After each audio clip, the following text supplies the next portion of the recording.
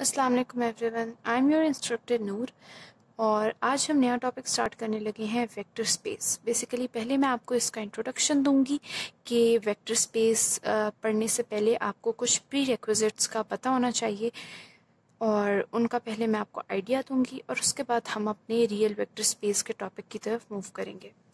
तो सबसे पहले जो मैं बताना चाहती हूँ, वो बेसिकली आपको कॉन्सेप्ट होना चाहिए कि वेक्टर क्या होता है.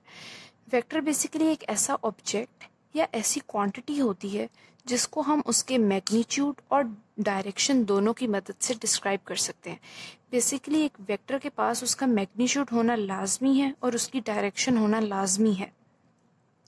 इसकी एग्जांपल हमारे पास फोर्स आ जाती है। लाइक like, फोर्स का मैग्नीट्यूड डिस्क्राइब होता है like five newton five newton हम कह सकते हैं कि फोर्स का मैग्नीट्यूड है। और ये फोर्स एक्स एक्सिस की तरफ़ लग रही है तो हम कह सकते हैं कि इसकी डायरेक्शन एक्स एक्सिस के अलॉन्ग है।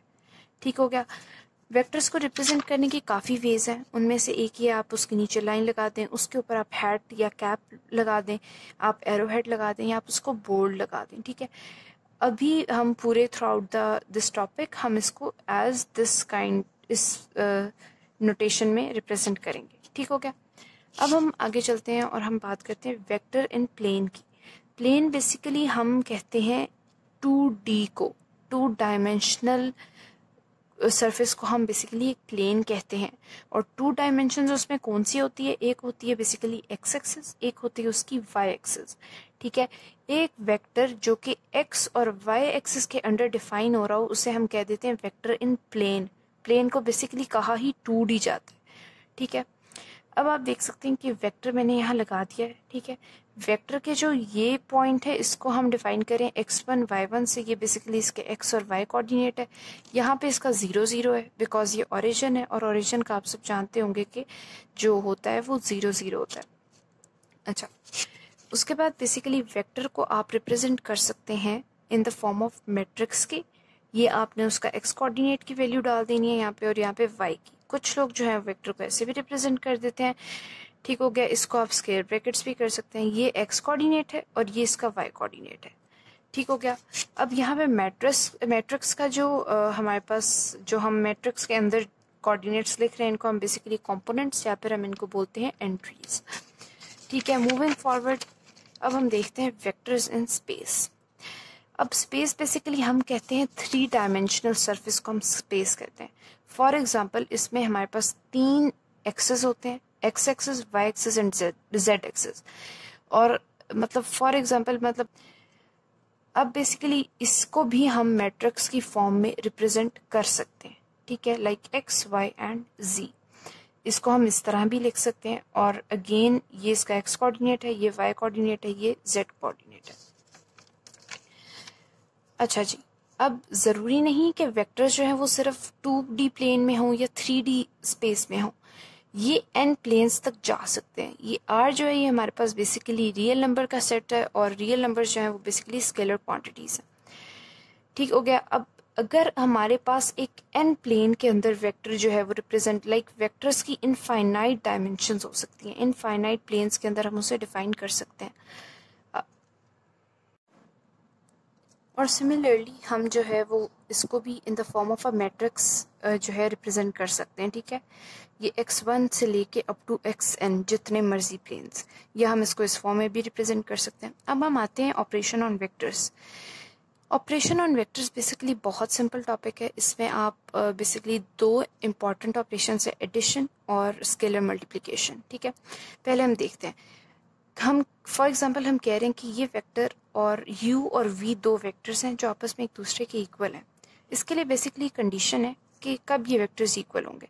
फॉर एग्जांपल यू आप ले लेते हैं u one u two v आप ले लेते हैं v1 v2 ये दोनों वेक्टर्स उस सूरत में सिर्फ़ इक्वल हो सकते हैं जब यू वन जो है वो हमारे पास वी वन के इक्वल हो यू टू हमारे पास जो है वी टू के इक्वल हो। लाइक हमारे पास कॉरेस्पॉन्डिंग एंट्रीज जो हैं, वो दो वेक्टर्स की, वो इक्वल होनी चाहिए। अगर u1 वन वी टू के इक्वल है और u2 टू वी वन के इक्वल है तो ये इक्वल वेक्टर्स नहीं है। इक्वल वेक्टर्स के लिए पहली बात कि दोनों की कॉरेस्पॉन्डिंग एंट्रीज इक्वल होनी चाहिए, दूसरी बात उनका साइज़ इक्वल होना चाहिए। दो एंट्रीज अगर इसमें हैं तो दो एंट्रीज ही इसमें होनी चाहिए कि बेसिकली ये प्लेन्स डिफाइन करे कि यार ये स्पेस में है, ये प्लेन में है या अप टू मतलब जिस, जितने भी ये नंबर ऑफ़ प्लेन्स के अंदर डिफाइन हो रहा है। उसके बाद एडिशन एडिशन बहुत सिंपल है. Like for example u is equals to like u one और यू टू ठीक है? V is equals to v one v two ठीक है? तो u प्लस वी क्या होगा? कॉरस्पॉन्डिंग एंट्रीज को आपने ऐड कर देना है. U one plus v one ठीक है? यहाँ पे comma u two plus v two up to so on u three plus v three and u n plus v n multiplication का क्या रूल है? कि for example u is equals to u one u two और हम इसको एक scalar constant से multiply कर रहे हैं लेट से वो है टू तो हमारे पास बेसिकली इसका आंसर आएगा two you one comma two you two वो जो स्केलर क्वांटिटी है बेसिकली एक कांस्टेंट है, वो वेक्टर की हर एक एंट्री या हर एक कंपोनेंट के साथ मल्टीप्लाई हो जाएगा. अब हम आगे चलें तो हमारे पास आता है zero vector zero vector basically एक ऐसा वेक्टर है जिसकी तमाम की तमाम एंट्रीज जो हैं वो ज़ीरो होती हैं। तो ज़ीरो वेक्टर को हम कहते हैं एडिटिव आइडेंटिटी एडिटिव आइडेंटिटी हम इसको इसलिए कहते हैं कि अगर आप ज़ीरो वेक्टर को किसी भी वेक्टर के अंदर ऐड जब करेंगे ना तो जो नॉन ज़ीरो वेक्टर होगा वो एज एन आंसर आएगा। आपको पता है लाइक थ्री प्लस ज़ीरो क्या होगा? थ्री होगा। और थ्री ज़ीरो जो है वो बेसिकली एडिटिव आइडेंटिटी है फॉर एडिशन ठीक है? और मतलब ये आपको क्लियर हो गया कि अगर ज़ीरो वेक्टर है, आप उसको किसी भी वेक्टर में ऐड करेंगे आंसर आपके पास वही वेक्टर एज इट इज़ आएगा। नेगेटिव वेक्टर बेसिकली ये होता है कि आप नेगेटिव वन को एक वेक्टर के साथ मल्टीप्लाई कर दें, या आप नेगेटिव साइन को एक वेक्टर के साथ मल्टीप्लाई कर दें तो वो नेगेटिव ऑफ़ अ वेक्टर बन जाएगा। और नेगेटिव ऑफ़ अ वेक्टर बिल्कुल सिंपल है कि आप उसकी हर एंट्री को नेगेटिव साइन से मल्टीप्लाई कर दें या हर एंट्री को नेगेटिव वन से मल्टीप्लाई कर दें। और इसको बेसिकली हम कहते हैं एडिटिव इनवर्स एडिटिव इनवर्स हम इसको इसलिए कहते हैं कि अगर हम एडिटिव एक नंबर को उसके एडिटिव इनवर्स के अंदर ऐड करें तो हमारे पास आता है एडिटिव आइडेंटिटी नंबर को एडिटिव इनवर्स के अंदर ऐड करें तो हमारे पास आंसर क्या आएगा? एडिटिव आइडेंटिटी और उसकी एग्जांपल मैं आपको देती हूँ। फॉर एग्जांपल हमारे पास थ्री है। ऐड इसमें हम क्या करेंगे? माइनस थ्री और आंसर आएगा ज़ीरो ये एडिटिव आइडेंटिटी है। ये एडिटिव इनवर्स है थ्री का। और हर नंबर का यूनिक एडिटिव इनवर्स होता है। अगर आप फाइव लेंगे तो इसका एडिटिव इनवर्स आएगा माइनस फाइव फोर लेंगे तो आएगा minus four and up to so on उसके बाद हमारे पास बहुत आसान सा एक और टॉपिक है।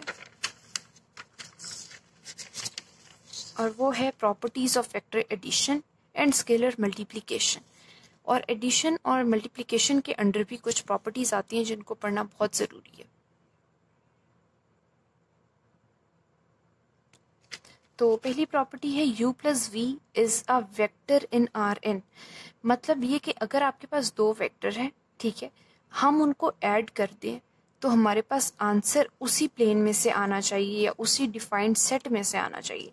ये बेसिकली हमने एक सेट लिया है रियल नंबर्स का। मतलब एक वेक्टर है u, एक वेक्टर है v फॉर एग्जांपल यहाँ पे हम देखते हैं कि फॉर एग्जांपल हमारे पास एक वेक्टर की एंट्री है थ्री ये आप एग्ज़ाम्पल ले लें, ठीक है? आप एक मैट्रिक्स कह लें थ्री है, एक मैट्रिक्स है टू है। इसका आंसर जो है, ये फाइव है।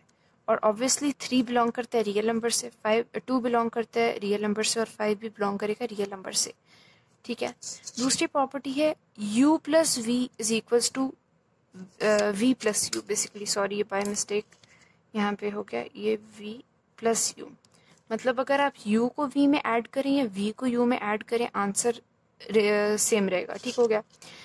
दूसरी भी चीज़ ये कि इफ़ यू प्लस वी को पहले आप ऐड करेंगे और उसके बाद आप इसको डब्ल्यू के अंदर ऐड कर देते हैं तो उसका आंसर सेम होगा कि अगर आप डब्ल्यू और वी को पहले ऐड करें और फिर यू में ऐड करें। देर इज़ नो डिफरेंस उसके बाद हमारे पास जो है वो एक और प्रॉपर्टी है जिसमें वो कह रहे हैं कि एक अगर वेक्टर है, उसको आप ज़ीरो वेक्टर के अंदर ऐड करेंगे तो आपके पास वही वेक्टर आ जाएगा आंसर में।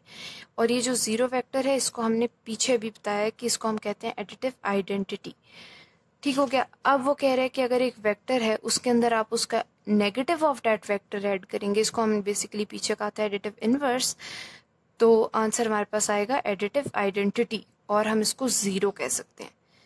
ये याद रखिएगा कि ये जो एडिटिव आइडेंटिटी है, ये बेसिकली एडिशन के लिए हम यूज़ करते हैं। अगर आप मल्टीप्लीकेशन करें तो उसमें आइडेंटिटी ये नहीं होगी। तो आगे चलते हैं। C u is a vector in R real number ठीक है? Belongs to real number in n dimensions basically इसका मतलब ये है कि सी जो है वो बेसिकली एक कांस्टेंट है। अगर आप एक कांस्टेंट को एक वेक्टर से मल्टीप्लाई कर रहे हैं तो वो उसी रेंज ऑफ़ एलिमेंट्स के अंदर फॉल करना चाहिए। उसके बाद ये है कि अगर आप एक कांस्टेंट को एक क्लोज ब्रैकेट के अंदर मल्टीप्लाई कर रहे हैं दो वेक्टर्स जो ऐड हो रहे हैं उनके साथ तो सा, साफ़ साफ़ इजी कॉन्सेप्ट है ये कि बेसिकली अगर कांस्टेंट को अलहदा अलहदा उन एलिमेंट्स के साथ मल्टीप्लाई करके ऐड करेंगे तो आंसर सेम होगा। और उसके बाद ये है सी प्लस डी दो कांस्टेंट ऐड हो रहे हैं और वो मल्टीप्लाई हो रहे हैं एक वेक्टर के साथ। तो बेशक आप उसको जो है वो कांस्टेंट को पहले अलहदा अलहदा वेक्टर के साथ मल्टीप्लाई करें और फिर ऐड करें तो आंसर में कोई डिफरेंस नहीं आएगा। उसके बाद हमारे पास अगली एग्ज़ाम्पल है c into d u is equal to c d into u one into u is equals to u ये बेसिकली बहुत ईजी कॉन्सेप्ट हैं, बस मगर इनको रिवाइज करना जो था, वो इंपॉर्टेंट था, ताकि हम रियल वेक्टर स्पेसिस के टॉपिक को अच्छे से अंडरस्टैंड कर सकें। तो अब हम आगे चलते हैं। Properties of additive identity and additive inverse additive identity is unique इसका मतलब ये है कि एडिटिव आइडेंटिटी एक ही होगी। ऐसा नहीं हो सकता कि एडिटिव आइडेंटिटी जो है वो एक से ज़्यादा हो। दो, तीन, चार, नो। एडिटिव आइडेंटिटी हमेशा वन होगी। यूनिक मीन्स वन सबसे अलग। और वो बेसिकली होगी ज़ीरो मतलब कि अगर हम दो वेक्टर ऐड कर रहे हैं और उनका आंसर ज़ीरो है, और v एक नॉन ज़ीरो वेक्टर है तो बेसिकली u हमारे पास होगी additive identity which is equals to zero vector additive inverse क्या है? एडिटिव इनवर्स अगेन यूनिक चीज़ है। इसमें हमारे पास ये u plus v is equals to zero अगर ये दोनों इक्वल हैं ज़ीरो के तो u जो है, वो इक्वल होगा माइनस वी के। और हम कहेंगे कि माइनस वी यू का एडिटिव इन्वर्स है। उसके बाद अगर आप ज़ीरो वेक्टर को किसी वेक्टर से मल्टीप्लाई करेंगे तो आंसर आएगा ज़ीरो अगर आप एक कांस्टेंट को ज़ीरो से मल्टीप्लाई करेंगे तो आंसर आएगा ज़ीरो ये बहुत इजी कॉन्सेप्ट हैं, लेकिन अगेन इनको रिवाइज करना ज़रूरी था। चलें। उसके बाद ये है कि अगर एक कांस्टेंट को एक वेक्टर के साथ मल्टीप्लाई किया जा रहा है और आंसर ज़ीरो आ रहा है तो इसका मतलब है कि या तो वो कांस्टेंट ज़ीरो के इक्वल है, ठीक है, या तो वो वेक्टर ज़ीरो वेक्टर के इक्वल है। तभी इसका आंसर ज़ीरो मुमकिन है। उसके बाद ये कि अगर आप एक नेगेटिव वन या माइनस साइन को मल्टीप्लाई करेंगे एक नेगेटिव वेक्टर से तो आंसर विल बी पॉजिटिव तो ये थी बेसिक्स ऑफ़ वेक्टर स्पेसेस, ठीक है? ये एज अ प्री रिक्विजिट इन सारी बातों को जानना हमारे लिए ज़रूरी था। इसलिए मैंने आपको एक रिव्यू कराया है। ये चीज़ें बहुत ईजी हैं और ये कॉन्सेप्ट ऑलरेडी आप लोग अपनी प्रीवियस क्लासेस के अंदर पढ़ चुके होंगे। अगर आपको ये वीडियो अच्छी लगी है तो आप इसको लाइक कर दें और आप अपने दोस्तों के साथ शेयर करें। Thank you so much